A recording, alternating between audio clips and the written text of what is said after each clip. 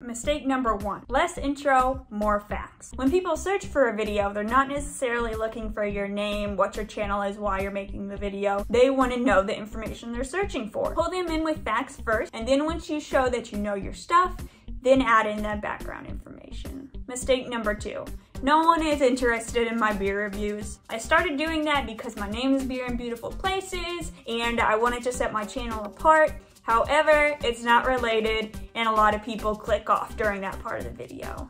Mistake number three, there's a big difference between informational hiking videos and hiking vlogs. So for this video, I'm gonna separate it into three parts. First, I'm gonna talk about informational videos, then hiking vlogs, then general info for hiking channels period. Usually I make videos to help my fellow adventurers, but I know a lot of the people that subscribe to my channel aren't necessarily newbies, they're just people that have their own hiking channel and they want to support someone else doing the same thing. So I would be glad to pass on all the information I've learned, sometimes the hard way. Beer in Beautiful Places focuses on all kinds of adventures, but it's mostly been hiking so far. So this video is just gonna focus on having a hiking YouTube channel. And if you're wondering, my name's Maddie.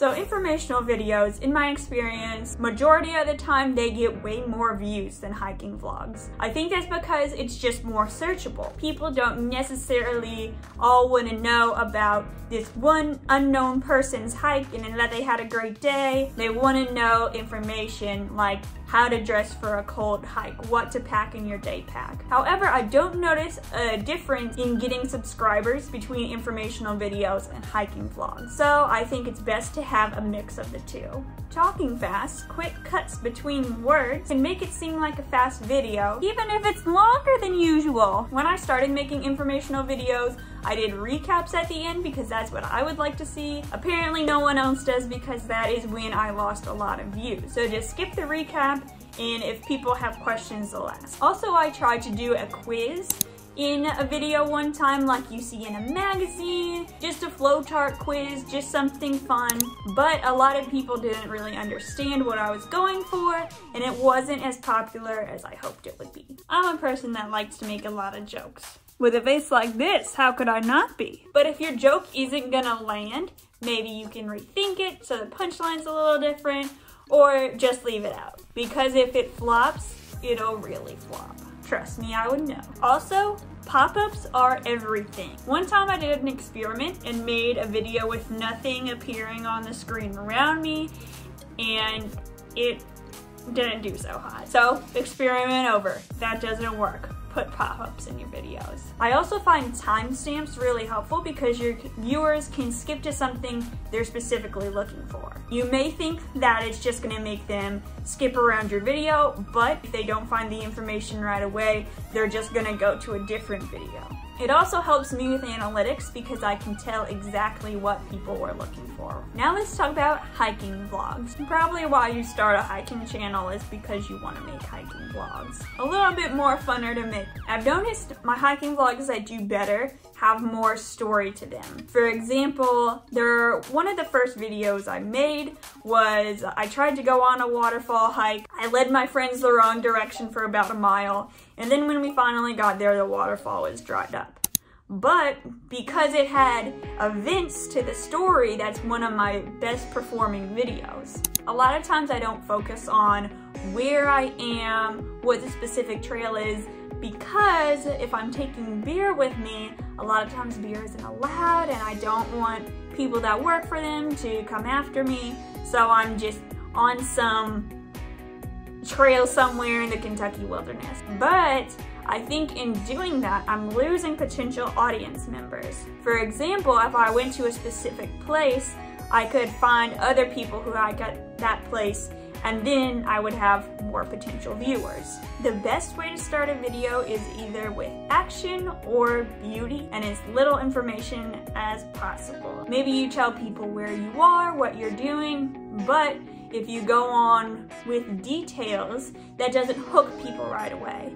Details are important, but I've noticed my videos do better if I save that for later.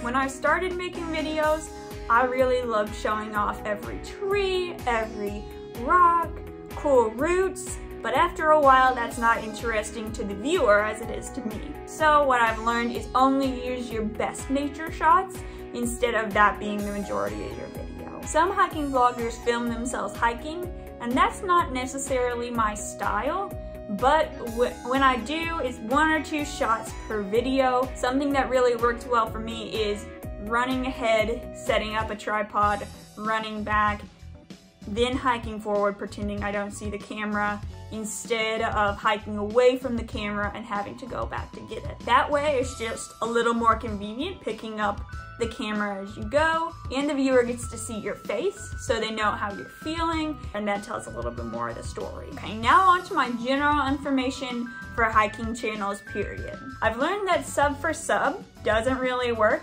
because if someone just subscribes to you to get a subscription back, then when they unsubscribe, it feels like you're losing people even though it has nothing to do with you.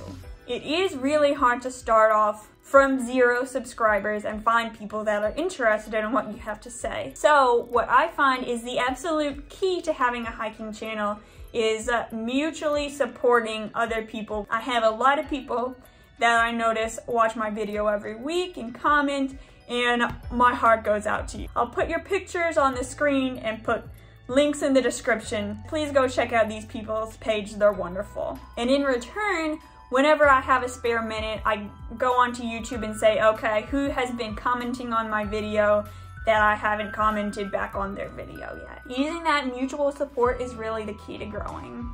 I've also had pretty negative results with setting a premiere, so I think I'm gonna try to do less of that. I have to go into work at 3 p.m. every day. By the way, I always post on Wednesdays during the middle of the week. And most of the time, I feel like when I post is an inconvenient time for my viewers. So I've been trying to set premieres. However, when I set premieres, those videos have been getting fewer views for some reason. That's just my experience. Also, a lot of times I think a video is kind of lackluster and it ends up getting more views than I thought. On the other hand, videos that I work really hard on sometimes barely get any views. It's always a toss up with how a video is gonna do. Don't count on anything. Experimentation is key. There's really two schools of thought for hiking YouTubes. You're trying to someday make a career out of this, you're working hard, you're paying attention to your analytics, or it's just something you do for fun. I think both are wonderful. Both can serve you and add meaning to your life. And at the end of the day, we all just love sharing hikes with each other. Thanks for watching. Bye.